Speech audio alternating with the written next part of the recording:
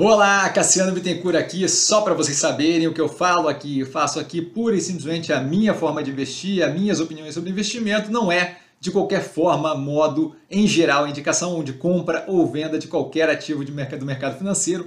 E agora o vídeo, valeu! Olá, Cassiano Bittencourt, pelo Visão do Estrategista agora para falar da Clabin. Eu imagino que seja meio autoexplicável o negócio aqui no meu pescoço, né? Carnaval, as meninas estão aqui em casa, minhas sobrinhas. Eu sou um alvo fácil, então assim, imagino que nos próximos vídeos eu deva vir com purpurina, sei lá o nome do resto das coisas, mas chapéu e cabelo colorido e o caramba quatro. Então assim, se preparem, porque o negócio não está indo numa direção muito positiva aqui. A gente está aqui para analisar a Clabin que tem é, como operação principal papel e celulose, está bem diversificado, especialmente em embalagens. Tá, o trimestre de resultado bem menos pressionado do que esperado. Tá? Eu esperava um resultado mais, mais pesado, como vinha a expectativa do trimestre passado, que foi bem pressionado. Tá? Mesmo com o momento do setor menos positivo, a tese segue alinhada, especialmente com o ramp-up, a melhoria, a evolução da, do aumento da produção da MP28, a segunda máquina da Puma 2 de papel cartão, tá? a construção do projeto Figueira em andamento, com relação à, re, racionalização da produção de papelão do lado, tá? e a implementação do projeto Caetê, que foi divulgado em dezembro, que a gente vai ter uma maior conversa e abertura aqui. Tá? A gente começa com a abertura da estrutura acionária na tela, só para dar um pouco de informação. Tá?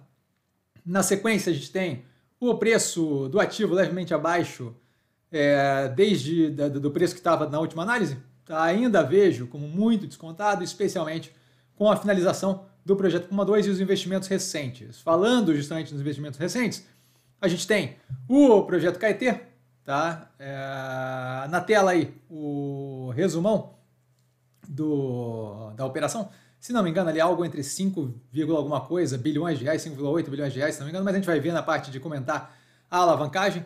Tá? O resumão ainda está na tela para justamente quem quiser um pouco mais de informação do que eles veem ali de geral do projeto. O projeto foi apresentado em dezembro de 2023.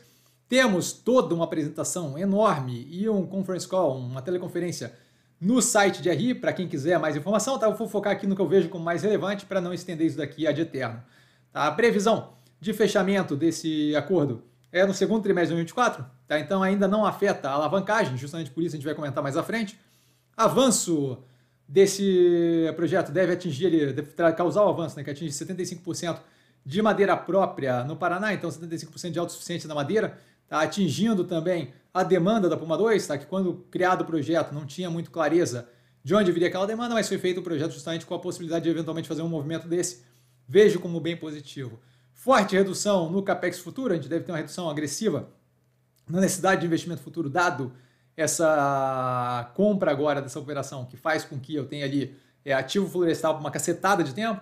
Tá? Além disso, deve reduzir também é, o custo caixa de celulose, uma vez que grande parte da madeira virá justamente de operações nossas de grande qualidade. Tá? O preço pago foi bem competitivo pela operação geral e especialmente quando a gente vê ali preço de terras comparáveis no estado do Paraná. Tá? Então a gente acabou pagando ali o que se considera abaixo de mercado e a gente vai ter, à medida que o tempo vai passando, tem essa dinâmica toda explicada nas na, na, na teleconferência, o, a venda dos excedentes de, de terra, tá? que vai acabar retornando parte desse caixa, possivelmente com ganho, para a operação.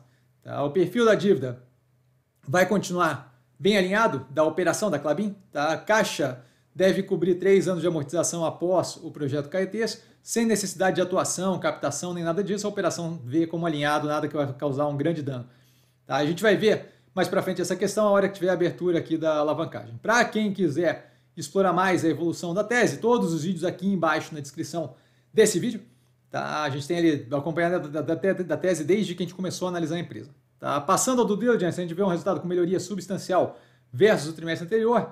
Primeiramente, a abertura por produtos na tela. Aqui mostra mais claramente o que sempre é comentado, o caráter da operação voltado mais a produtos de valor agregado, tá? vinculados ali à substituição de plástico de uso único é, por embalagem sustentável, que justamente que a gente faz ali com papel cartão, craft liner e por aí vai.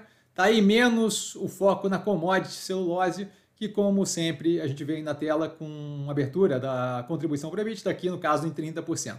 Tá um pouco, assim, um pouco abaixo do que tínhamos no trimestre passado. Aqui ainda com mais clareza. Né? E o segundo quadro é com a tendência de demanda e preço, tá? Eles, eles entram em contato ali com, as, com gerentes operacionais de cada parte. justamente para entender como é que está evolução ali, expectativa para o próximo trimestre de demanda e preço é, de cada um dos produtos, tá? E a gente vê um delta positivo aí nessa dinâmica para o próximo período. Tá? Então nada que chame muito atenção, mas, mas algo positivo. Seria negativo se estivesse tudo no vermelhinho, né? Indo ao operacional financeiro, a gente vê a receita líquida com uma queda de 11% ano contra ano, um crescimento de 2% versus o período anterior, quarter on quarter. Tá? O EBITDA ajustado, excluindo não recorrentes, como sempre, uma queda de 15% versus o mesmo período no passado, um aumento de 20% versus o trimestre anterior, que eu falo justamente ali a melhora agressiva versus o período ali bem pressionado, nada que chame muita atenção como o uh, que positivo, mas algo de evolução. Tá? A margem vai a 36% versus 37% do mesmo período no passado, então entregando ali uma... tirando ali o, o suco da laranja ali o máximo possível, próximo ali do mesmo período no passado, e 31%, uma margem bem mais fraca, no terceiro trimestre de 2023. O lucro líquido vai a 370 milhões, uma queda de 53% versus o mesmo período no passado, um aumento de 51% versus o período anterior. Como dito, uma melhora considerável versus o período bem pressionado no trimestre passado. Chama a atenção a dinâmica de melhoria nos custos da operação, está todos abertos na tela para o pause. Isso não só no trimestre, muito mais na questão ali quando a gente olha o anual, a, a contínua melhoria paulatina dos, da, da, dinâmica de custos, o que acaba ajudando a operação agressivamente quando eu penso médio e longo prazo. Tá? Especialmente se tiver melhoria na demanda aí do mercado. A alavancagem estável em 3,3 vezes dívida líquida sobre EBITDA quando eu falo dólar, 3,2 quando eu falo em reais, nada que preocupe, tá? Para a galera que quiser dar uma pausada aí na tela. Cronograma na sequência com prazo médio e custo médio da dívida, tá? Ainda não afetado pelo projeto Caetes, como a gente vai ver, tá? Que, como dito, deve ter closing, deve fechar é o acordo ali no segundo trimestre de 2024. E aí sim a gente deve ter o pagamento e o efeito aqui nesse cronograma. Tá? A dinâmica no primeiro momento na tela, tá? após o pagamento ali pelo projeto, projeto após o uso de caixa para o pagamento, ainda vamos ter ali é, expectativa, né? O caixa restante cobrindo ali três anos aproximadamente de dívida, então nada que preocupe, nada que afete a operação, tá? O cronograma ali coberto por três anos o retorno do alinhamento à alavancagem anterior prevista para 2025. Então, é um investimento consideravelmente forte, que tira um pouco a alavancagem do caminho e joga na sequência direto para o normal de novo, para o andamento, se não fosse feito o investimento. Então eu vejo claramente, muito tranquilo, o investimento como muito positivo. Tá? Fluxo de caixa ajustado agora forte em 820 milhões, Tá? Aqui a gente já pode usar o ajustado mesmo, como no trimestre passado, dado que o restante ali do pagamento da Puma 2 é residual e as outras coisas ali são, são opcionais, né? Os outros pontos ali. MP28 já rodando em ramp-up, que é justamente a última é, paga ali, da última último investimento ali da Puma 2, então não é algo que vai, vai de fato atrapalhar ou zerar, afetar ali negativamente e agressivamente o, a evolução do investimento já feito. Tese continua muito alinhada, e positivo em momento mais pressionado do setor, tá? com forte evolução contratada na operação financeira pelos vários projetos e investimentos feitos, sejam os já prontos, Puma 2, sejam os que ainda tem para fechar e acabar, que é Projeto Figueira e Projeto Caetê. Tá? De máquina, ativo florestal. Tá? A minha posição está aqui do lado. Eu vejo a operação como ótimo investimento para longo prazo, curto prazo da operação pressionado, nada que afete a tese de investimento, especialmente com essa melhoria mais agressiva que a gente teve no quarto trimestre. Está vinculada aí a operação à sustentabilidade de embalagens, o que eu vejo como bem positivo, algo que deve ser uma tendência contínua no país, no, no país, no planeta. Tá? A diversificação importante na carteira, uma vez que é, o comportamento dessa operação aqui não é muito casado com outros ativos que a gente tem no portfólio.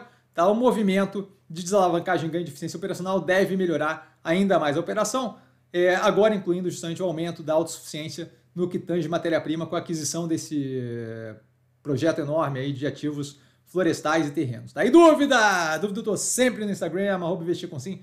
Só ir lá falar comigo, não trago a pessoa amada. É, vale lembrar que quem aprende a pensar bolsa opera com mero detalhe. Eu espero realmente não vir muito mais ridículo do que isso para os próximos vídeos. Valeu, galera. Beijão!